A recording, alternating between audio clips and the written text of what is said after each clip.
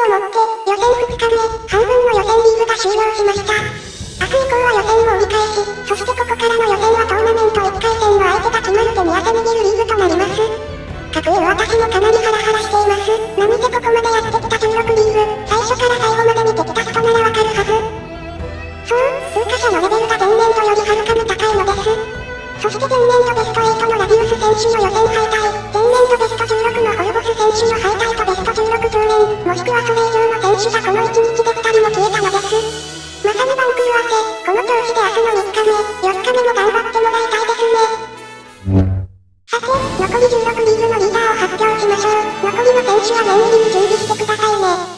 来たな、ここから俺たちの相手がわかる。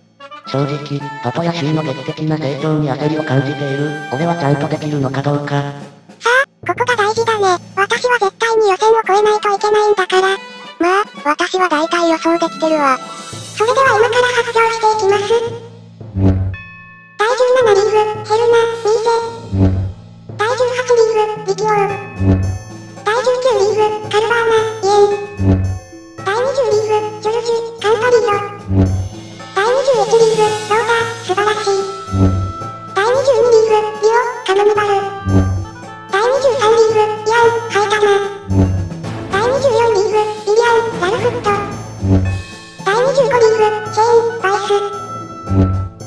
相手はあの司会者の子だね。というか私たちの1回戦の相手、ほとんど副隊長ね。全員があのラディウスクラスか。はぁ、あ、と、少し離れたらすぐに女の子引き寄せるんだから。なんか頭固そうな人だな。私ああいうタイプ苦手かも。情報を集めておいた方が良さそうだね。俺の1回戦の相手、今まで情報がない選手だな。私は前年度ベスト8のビリアンね。かなりイメチェンしてるけど、あの月下さん、一応校長の場なんで離れていただいてもよろしいでしょうか。そもそも1年もお預けされてたんだからむしろ今こうやってしていたいわ。シフトから月下の理性が崩壊してやがる。第26リーグ、レッテル、トロイ。第27リーグ、ジェルマン、モーゲン。第28リーグ、ジレン、ラーボ。第29リーグ、ハゲテ、ナエ。さて、ここから面白いカードが揃ってるよ。第30リーグ、引きレイカ。第31リーグ。私の1回戦の相手がレイカ姉さん。やったやっとちゃんとした舞台でレイカ姉さんと戦える。長年の夢が叶う。1回戦から楽しめそうね。1回戦の相手は立花大悟副隊長か。彼とはまだ戦ったことがないな。どれほどのものか楽しみだ。第32リーグ、ハゲタ、クマイ。え、俺の1回戦のリーグ雑魚しか嫌がらねえ。だが2回戦は副隊長か、俺の教え子だ、それなりには楽しめると思うぞ、白鵬。は、副隊長だろうがお前の教え子だろうが関係ねえよ。要は強いか強くないかだ。さあ、これで最後の予選リーグまでのリーグリーダーが公開されました。それでは明日、17リーグから24リーグの皆様、本戦出場に向けて頑張ってください。それでは本日をもって、大会予選2日目を終了いたします。明日の熱い激闘をお楽しみに。リオ、カムミバル。だと。情報を集めて、集めて、あれから今まで一度も会ったことがなかった。ずっとずっと情報がなかった。今回も大会出場するなんて一陣も思っていなかった。やっと、見つけたぞ。リオ、カムニバル。みんなの形、みんなの無念、人の善意を奪うその行為、絶対に許さない。絶対に殺してやる。かなめくん、大丈夫。いきなり気配がピリピリしだしたよ。は？冷静になれ、俺が少しでもあいつのことを匂わせる行動をすれば大爆発が起きるんだ。すまない、俺の相手が分かってちょっと警戒してただけなんだ。かなめくんのリーグって確か、18リーグだったよね。ああ、力王、確か全世界でも相当な物理攻撃力を誇ると聞いたことがある。そう、武闘家、って感じだよね。中国3000年の歴史、とか言ってそう。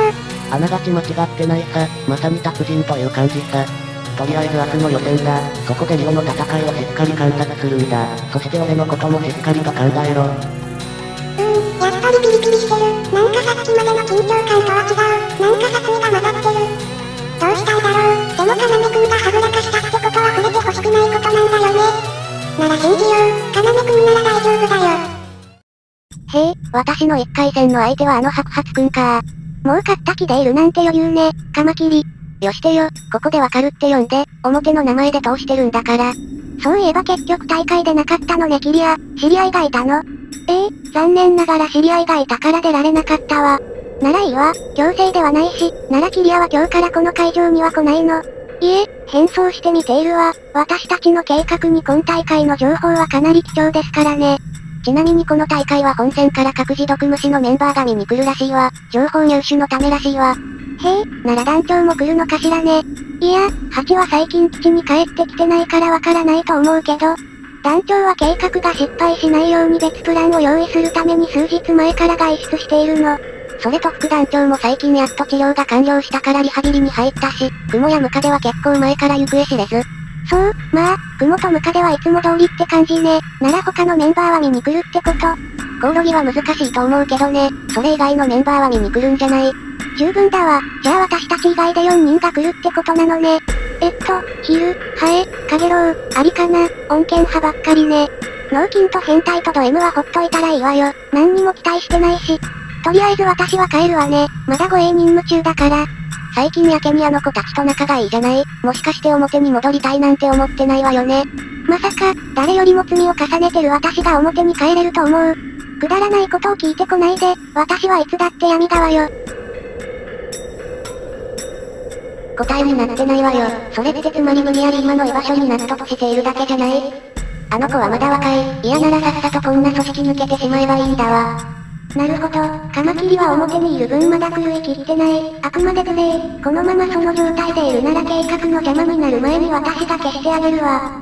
誰も私の復讐の邪魔をさせない。邪魔になるのなら蜂の小娘も殺す。私は目的が達成できればそれでいい。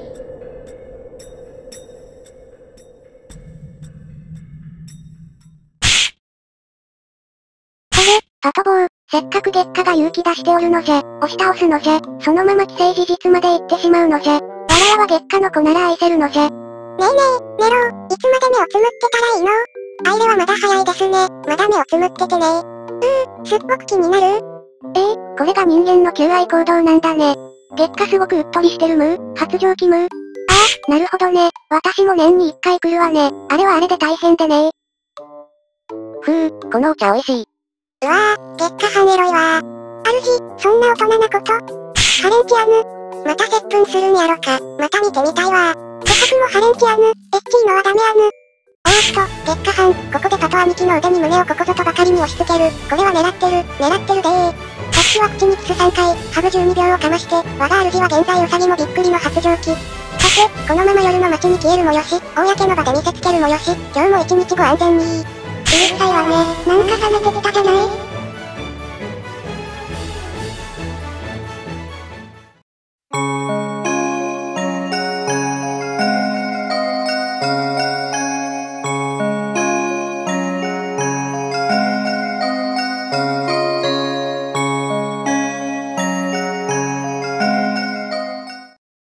ご視聴ありがとうございました。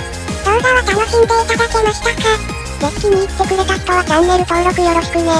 他にも再生リストで過去の動画を見やすくまとめているので、気になった人はぜひ見ていってね。ご主人、もう皆さんとお別れの時間です。寂しいけど、次回の動画でまた会おうね。次回も私たちの動画をよろしくね。それでは次回も、楽しんでいってね